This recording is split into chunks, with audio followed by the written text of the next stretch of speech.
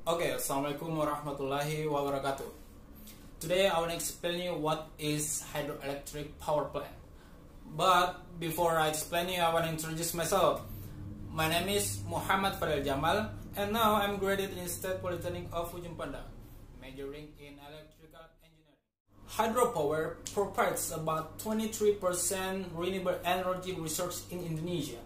And other resource renewable energy include tidal power, solar power, geothermal, and. In hydroelectric power plant have four main components.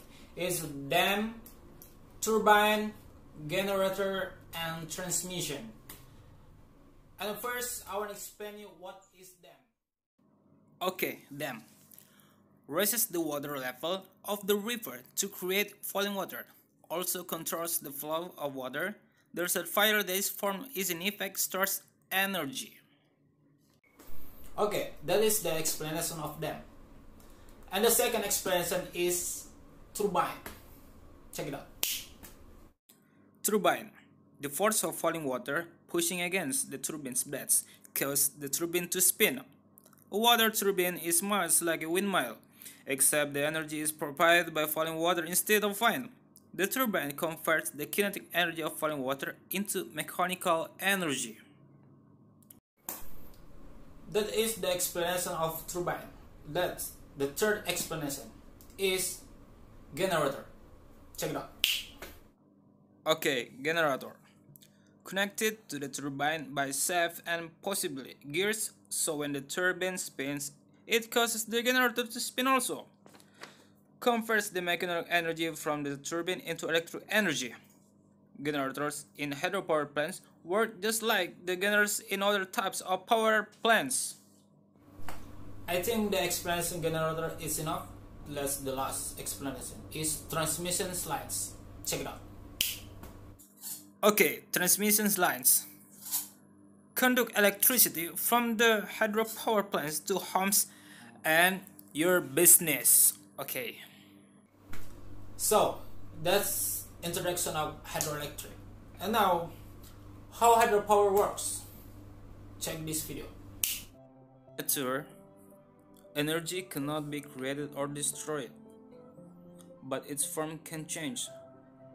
In generating electricity, no new energy is created. Actually, one form of energy is converted to another form. To generate electricity, water must be in motion. This is a kinetic energy. When flowing water turns blades in a turbine, the forms is changed to mechanical energy. The turbine turns the generator, water which then convert this mechanical energy into another energy form, electricity.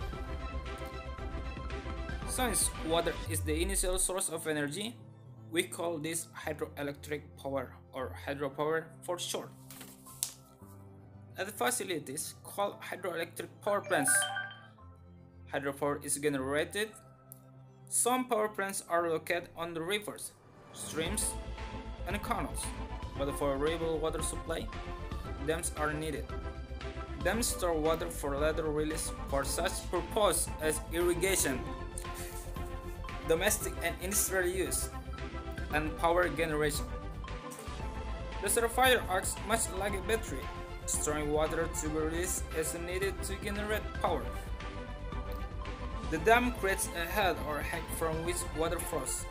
A penstock carries water from the reservoir to the turbine. The fast moving water pushes the turbine blades, something like a pinwheel in the wine. The water force and the turbine blades turns the rotor. The moving part of electric generator when coils of wire underwater sweep past the generator, stationary coil or stator. Electricity is produced. This concept was discovered by Michael Faraday in 1831 when he found the electricity could be generated by rotation magnet within copper coils. When the water has completed its task, it flows and changes to serve another needs. So that is simple explanation about hydroelectric power plant. If you like this video, don't forget to subscribe, comment, and share. Thank you. Assalamualaikum warahmatullahi wabarakatuh.